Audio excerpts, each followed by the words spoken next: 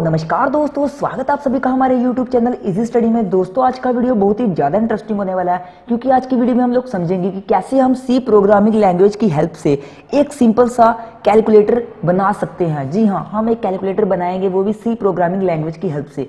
अगर आपने मेरी पिछली वीडियो देखी है, जो कि मैंने बनाई थी स्विच के स्टेटमेंट के ऊपर, अगर आपको वो कंसेप्ट क्लियर है तो वही कंसेप्ट हम इसमें यूज़ करेंगे। हम इसमें स्विच के स्टेटमेंट का यूज़ करने वाले हैं अपना कैलकुलेटर बनाने के लिए। तो अगर आपको नहीं क्लियर कि स्विच के स्टेटमेंट क्या होता है तो ऊपर आई बटन पे मैंने अपनी पुरानी वीडियो जो कि मेरी स्विच के स्टेटमेंट के ऊपर थी, वो दे रखी है। आप वहाँ पे जाके उसे देख सकते हैं। और अगर आपको क्लियर है कि स्विच के स्टेटमेंट क्या होती है तो शुरू करते हैं हमारी आज का ये वीडियो, जिसमें हम बनाने वाले एक सिंपल सा कैलकुलेटर। तो कैलकुलेटर बनाने के लिए मैं चलता हूँ अपने कंपाइलर के ऊपर, जो कि मैं ऑनलाइन ही खोला हूँ। और यहाँ पे सबसे पहले जो भी मैं प्रोग्राम बनाता हूँ, उसका मैं क्या कर लेता हूँ, एक उसका मैं एक क्या कर लेता हूँ? हेडर फ़ाइल नहीं सॉरी कमेंट इंक्लूड कर लेता हूँ। तो कमेंट क्या लिखूँगा मैं? यहाँ पे लिखूँगा program to make a simple calculator in C programming language ठीक है? मैंने यहाँ पे एक कमेंट दे दिया कि हम किसके ऊपर प्रोग्राम बना रहे हैं। और उसके बाद मैं यहाँ से शुरू करता हूँ अपनी हेडर फ़ाइल को लगाना। हेडर फ़ाइल लगा दूँगा मैं यहाँ पे। Hash include S T D I O dot H और hash include conio dot H ठीक है, मैंने दो हेडर फाइल्स में यूज़ की hash include standard input output और कंजोल्ड इनपुट आउटपुट की। उसके बाद मैं यहाँ से करूँगा मेन की शुरुआत और मेन में इसमें वॉइड रखूँगा। वॉइड मेन रखने के बाद मैं क्या करूँगा? नीचे आके करली ब्रेसेस को यहाँ से शुरू कर देता हूँ। और करली ब्रेसेस को मैं यहाँ से क्या कर रहा हूँ? शुरू। और अब होगा क्या? अगर आपको बताऊँ सिंपली कैलकुलेटर में होता है क्या? हम पहला फ़र्स्ट वैल्यू एंटर करते हैं, ठीक है? फिर हम सेकेंड वैल्यू को एंटर करते हैं। फिर उन दोनों में से, दोनों वैल्यूज़ में कौन सा ऑपरेशन हमने करवाना है? वो चीज़ एंटर करते हैं। उन दोनों में ऑपरेटर को एंटर करते हैं। मान लीजिए मुझे दो और दो को प्लस करवाना है। दो और दो मेरे पास क्या होते हैं? चार होते हैं। तो सबसे पहले मैं दो एंटर करूँगा। फिर मुझसे पूछेगा कि दूसरा नंबर कौन सा है? तो मैं फिर से दो एंटर करूँगा। फिर वो मुझसे बोलेगा कि कौन सा ऑपरेशन करवाना है। अगर मैंने उनमें से एडिशन करवानी है तो मैं प्लस को चूज़ करूँगा। अगर सब ट्रैक्शन करवानी है तो नेगेटिव को चूज़ करूँगा, यानी माइनस को चूज़ करूँगा। और अगर मल्टीप्लीकेशन करवानी है तो मैं मल्टीप्लीकेशन साइन को यूज़ करूँगा। तो मुझे मेनली क्या है? इसमें क्या करना पड़ेगा एक फ़र्स्ट वैल्यू के लिए, एक सेकंड वैल्यू के लिए, एक ऑपरेशन के लिए। और बाद में मुझे दोनों का रिज़ल्ट भी चाहिए और एक रिज़ल्ट के लिए। मुझे इसमें चार वेरिएबल्स को डिक्लेयर करना होगा। चार वेरिएबल कौन कौन से होंगे? एक फ़र्स्ट नंबर होगा, एक सेकंड नंबर होगा और एक मेरा ऑपरेशन होगा और एक होगा मेरा रिज़ल्ट तो मैं यहाँ पे क्या कर लेता हूँ? सबसे पहले वेरिएबल ही डिक्लेयर कर लेता हूँ। और जो मैं फ़र्स्ट वैल्यू एंटर करवाएगा यूज़र वो होगी क्या? एक फ्लोट टाइप वैल्यू होगी। इसलिए मैं जो दो वेरिएबल्स बनाऊँगा एन वन और एन टू वो फ्लोट टाइप के होंगे। और मैं यहाँ पे लिख लेता हूँ float N one for number one and N two for number two float N one N two लिखने के बाद मैं क्या करता हूँ यहाँ पे? ऑपरेटर के लिए एक वेरिएबल बना लेता हूँ, जिसे मैं क्या करूँगा? जो कि मेरे पास करेक्टर टाइप का होगा, क्योंकि करेक्टर ही जो होता है, वो प्लस माइनस डिवाइड एक्सेट्रा वो करेक्टर में ही आते हैं। तो यहाँ में मैं करेक्टर टाइप का जो है, वो ओपी रख लेता हूँ, उसका नाम। और उसके बाद मुझे रिज़ल्ट भी चाहिए, दोनों में जो ऑपरेशन होगा, उसके बाद जो रिज़ल्ट आएगा, उसके लिए भी मैं एक वेरिएबल डिक्लेयर कर लेता हूँ फ्लोट टाइप का।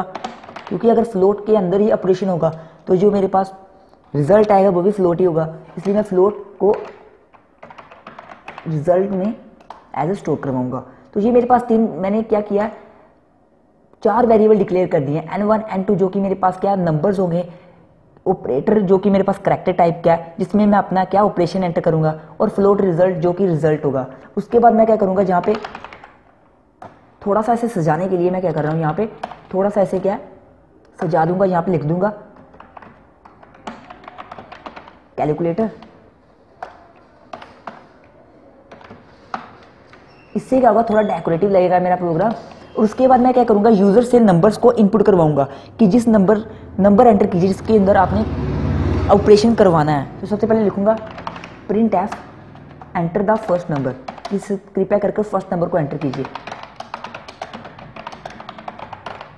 अगर वैसे कैपिटल लेटर में लिखूँ तो अच्छा लगेगा ना? तो कैपिटल में लिख लेते हैं। तो कैपिटल लेटर में लिखने के बाद मैं यहाँ पे आ रहा हूँ और यहाँ पे सेमी कोलोन लगाना ज़रूरी है। और जो भी वो नंबर एंटर करेगा, उसे मुझे स्टोर करवाना है एन वन में, क्योंकि वो पहला नंबर होगा। इसलिए मैं स्कैन का यूज़ करूँगा यहाँ पे। और मुझे पता है वो कौन सा एक फ्लो टाइप वैल्यू तो मेरा फॉर्मेट स्पेसिफाई कौन सा होगा? परसेंट एफ़ होगा और एड्रेस टू करेगा वो एन वन ठीक है? उसके बाद मुझे दूसरा नंबर एंटर करवाना है। तो दूसरा नंबर मैं एंटर करवा लेता हूँ।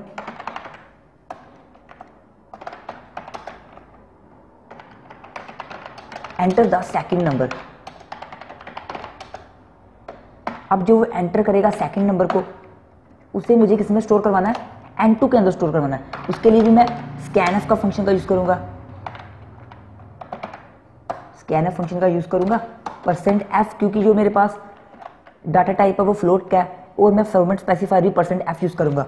और एड्रेस टू कर दूँगा ऐसे एन टू मतलब कि जो भी वो सेकंड नंबर एंटर करवा रहा है, वो मैं कंप्यूटर को कह रहा हूँ कि किसमें स्टोर करना है वो? एन टू के अंदर स्टोर करना है। और यहाँ पे सेमी लगा दूँगा। उसके बाद मैं नीचे आऊँगा। और अब मुझे क्या करना है? एक ऑपरेटर भी क्या करवाना है? उससे इनपुट करवाना है। तो मैं यहाँ पे लिखूँगा प्रिंट एफ़ प्रिंट एफ़ लिखेंगे बाद मैं यहाँ पे लिखूँगा प्लीज़ सिलेक्ट द ऑपरेटर कि ऑपरेटर सेलेक्ट कीजिए कि आपको प्लस करवाना है माइनस करवाना है, इन दो नंबर्स को मल्टीप्लाई करवाना है, या फिर डिवाइड करवाना है। ठीक है, ये मैंने क्या कर दिया? उससे क्या कर दिया? ऑपरेटर को सिलेक्ट करने के लिए कह दिया। अब जो भी वो ऑपरेटर एंटर करेगा, उसमें मैंने किस, उसे मैंने किसमें स्टोर करवाना है? ओपी में स्टोर करवाना है, यानी कि करेक्टर ओपी में स्टोर करवाना है। तो स्कैन एफ़ का यूज़ करूँगा।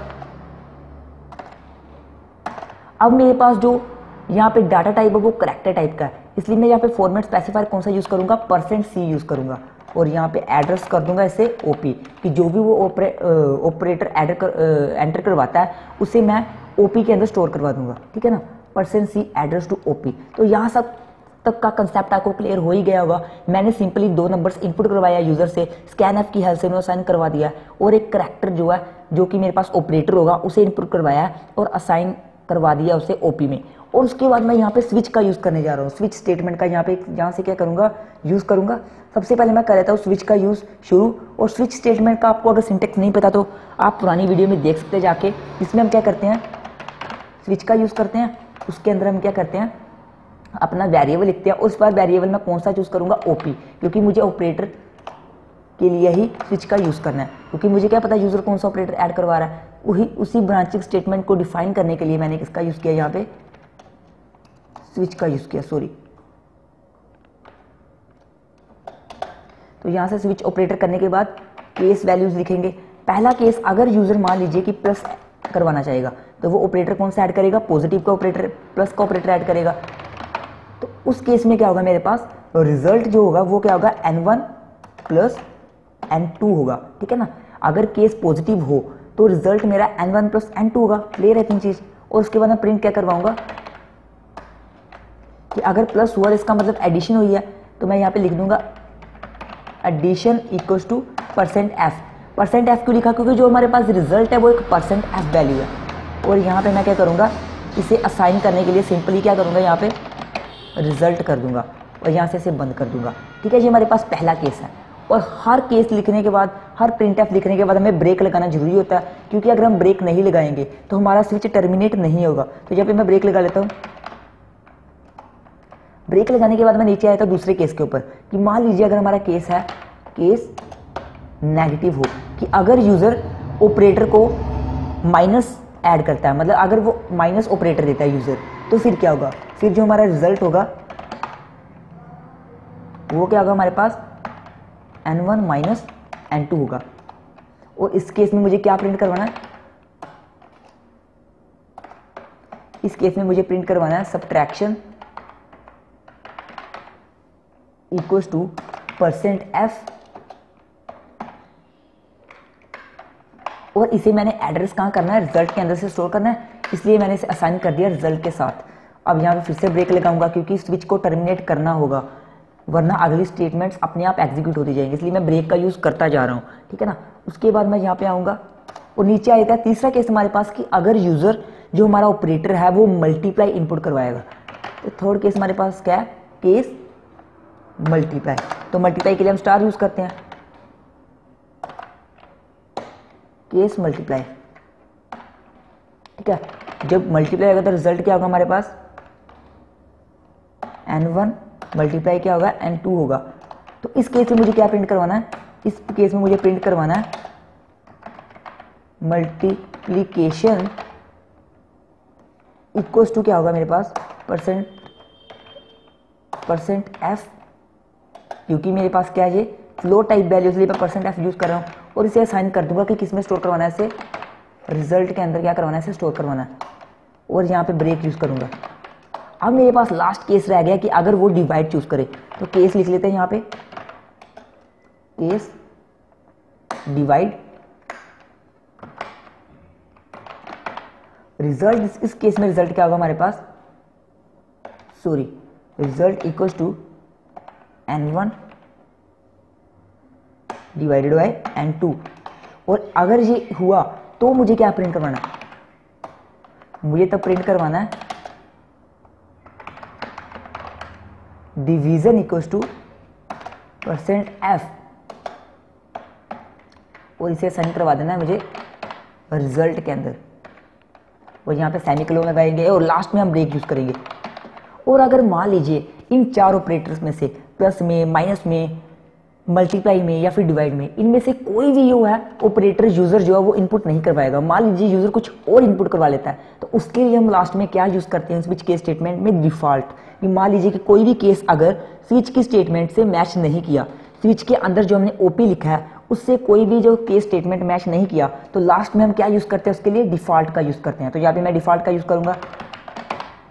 डिफ़ॉल्ट डिफ़ॉल्ट करने पर कोलोन लगाऊँगा, उसके बाद मैं print करवाऊँगा। Please select the correct operator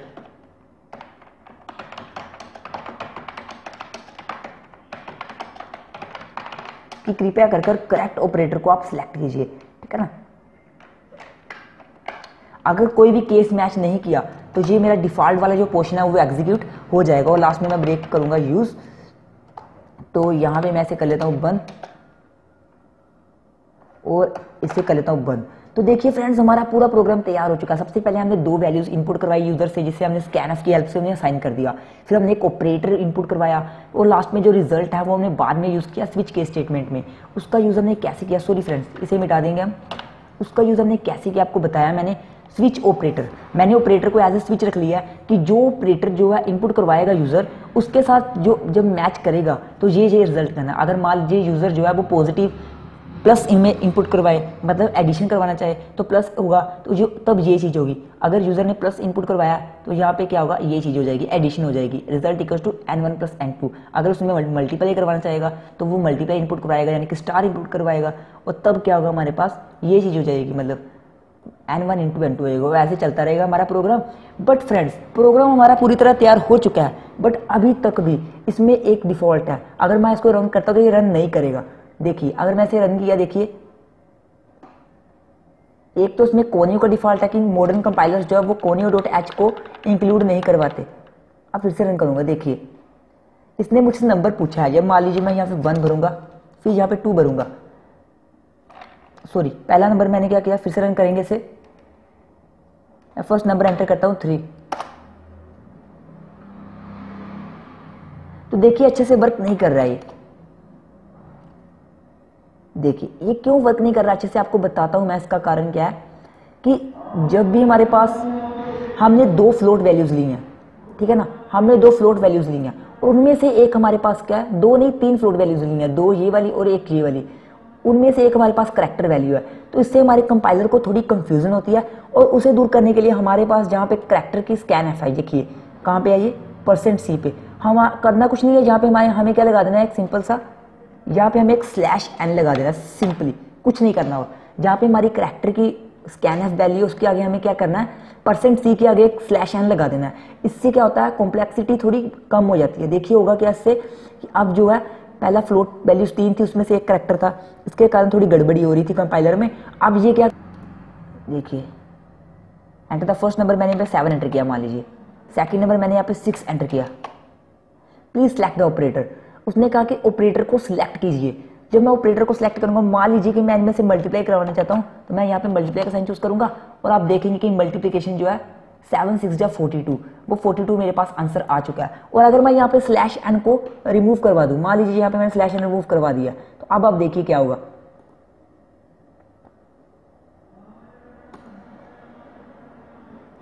enter the first number मैंने यहाँ पे दो किया एंटर फिर यहाँ पे enter second number seven enter किया। Please select the operator please select the correct operator इसने ये वाली स्टेटमेंट को मिस ही कर दिया। मतलब इसने मुझसे ऑपरेटर मांगा ही नहीं। तो ये क्यों हुआ? मैंने आपको बताया कि जब भी हमारे पास ज़्यादा फ्लोट वैल्यूज़ हो और उनमें से हम एक करेक्टर वैल्यू को इंक्लूड कर लेते हैं, उससे कंपाइलर में थोड़ी सी गड़बड़ी हो जाती है। इसके लिए हम यहाँ पे क्या यूज़ करते हैं यहाँ पे? हम यहाँ पे स्लैश एन का यूज़ कर लेते हैं। उससे बिल्कुल सही होगा। देखिए, अब रन करूँगा फिर से। फिर से रन करने पे क्या होगा?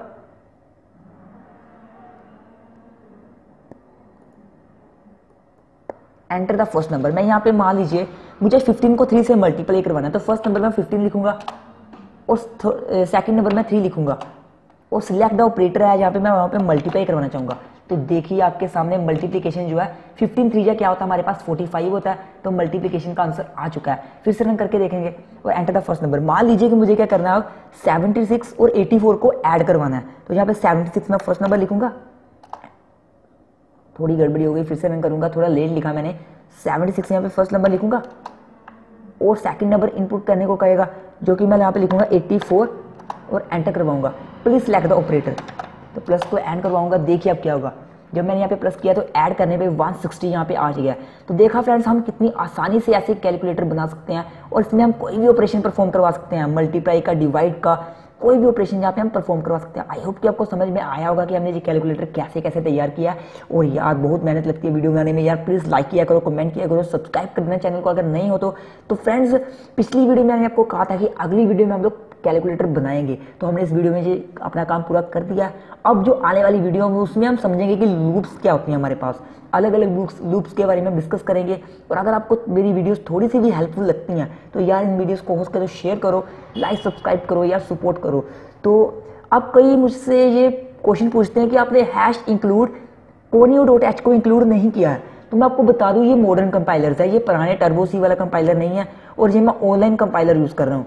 इसमें मुझे hash include conio dot H की यूजेज यानी कि यूज़ नहीं करनी पड़ती और ना ही इसमें मुझे क्लियर स्क्रीन का यूज़ करना पड़ता है। देखा अगर मैं इसे फिर से रन करूँगा तो एज इट इज़ रन हो जाएगा। इसमें मुझे क्लियर स्क्रीन करने की ज़रूरत ही नहीं पड़ी और ना ही इसमें मुझे गेट सी एच ई का यूज़ करना पड़ता है, क्योंकि एक मॉडर्न कंपाइलर है। इसमें सिर्फ़ मुझे प्रोग्राम को एक बार कोडिंग के रूप में लिखना होता है, बाकी सब काम ये खुद ही कर लेता है। तो आई होप को आपको समझ आएगा कि कैसे हम एक कैलकुलेटर बना सकते हैं, हमारी सी प्रोग्रामिंग लैंग्वेज के अंदर बहुत ही आसानी से स्विच के स्टेटमेंट का यूज़ करके। और वीडियो अच्छी लगी तो यार लाइक कर देना। मिलते हैं आपके साथ अगली वीडियो में।